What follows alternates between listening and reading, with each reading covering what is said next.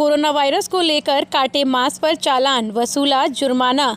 लगातार corona virus के चलते बरेली में मरीजों की संख्या दिन पर दिन बढ़ती जा रही है, जिसको लेकर पुलिस प्रशासन भी सख्त दिखाई दे रहा है। बुधवार को बगैर मास्क लगाए लोगों को रोककर उनका चालान किया गया।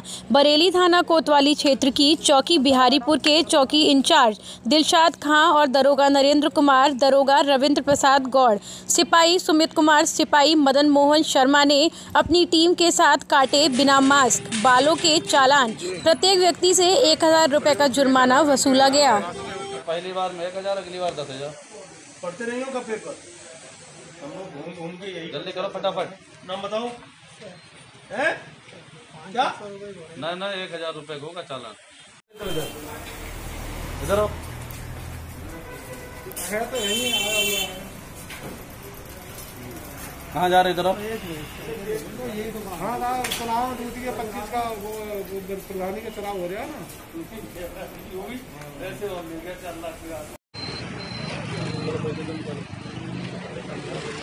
एक हज़ार रुपया दो नहीं देख लो इन्हें हाँ चलो बैठा लो चलो हाँ। गाड़ी में बैठो चलो।